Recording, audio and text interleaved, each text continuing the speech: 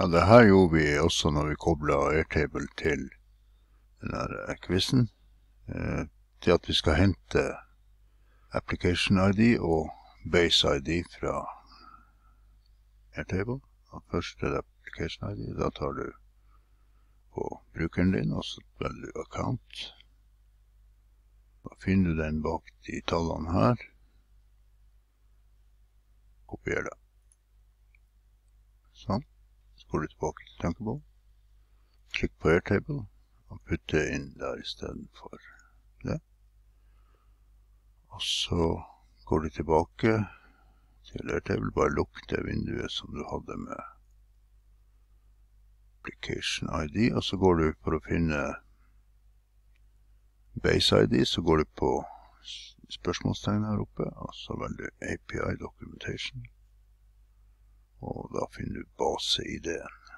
Og den er her.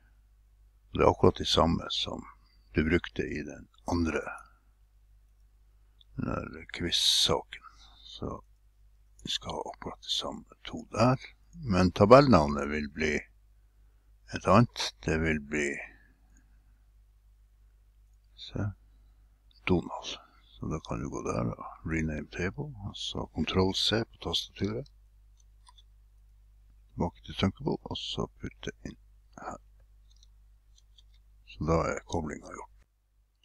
Så for å koble de her to sammen, så trenger du å legge til en datakilde. Selv om vi har oppgitt hva denne airtabelen er for noen ting, så må vi legge til en datakilde til prosjektet. Så jeg kopierer da denne API-keyen. Ta og merk den, og kopier den. Ctrl C på tastaturet. Så går du her borte på prosjektvinduet, så går du nederst der, så står det Data Sources, og da trykker du på pluss.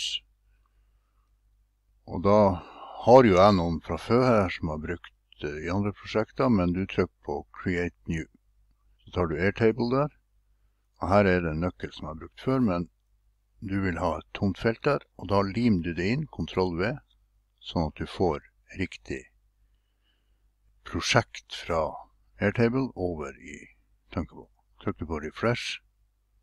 Når du har gjort det, så kan du velge den riktige basen. Tror den heter Quizbase. Create.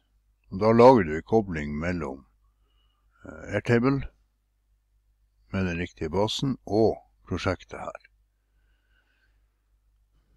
Så det er kanskje litt forvirrende, for du vil ikke få opp de tingene som jeg har uh, her, men du skal bare legge inn den her på den data source. Og da hvis du ser her, så står det Quizbase her. Den er da en datakilde til hele prosjektet her. Så hvis du nå trykker på den der dataview-listen, sånn at den er valgt, så kan du ta datasource her, Quizbase, og tabelen er ikke quiz, men Donald. Sånn, det er den. Så du må velge de to etter å ha trykt på den. Så hvis du nå ser på det som står her nede, står det list item layout. Så står det title subtitle. Og det vil jo bare være tekst begge de der. Så hvis du trykker på den blokka her, så får du opp et lite vindu som viser de forskjellige typene layout du kan velge for den der datalistvieweren. Og vi tar den enkleste som har bildet i seg, som du ser her. Den. Så er det da data bindings. Var jo opprinnelig tom her. Da kobler vi sammen uh, de feltene i tabellen med det som kommer opp i lista der. Så hvis du tar picture der og trykker på det tomme feltet, så kan det være bilde der.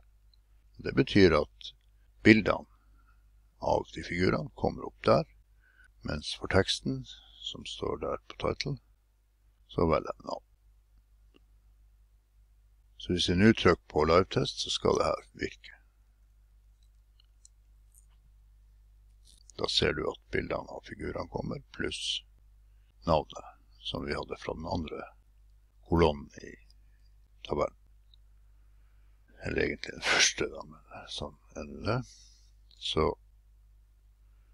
det er jo greit å ha en sånn liste, men den lista kan da bruke til å gå til en annen skjerm også vise andre ting, så du kan bruke den som en slags ganske avansert meny for å velge mellom forskjellige ting. Så hvis jeg trykker på Donald nå, så vil jeg at det skal åpnes en ny side i appen som viser et litt større bilde av Donald. Navnet hans og kanskje mer informasjon som jeg kan hente fra tabellen hvis jeg vil det. Men uh, skal vi se på i neste video.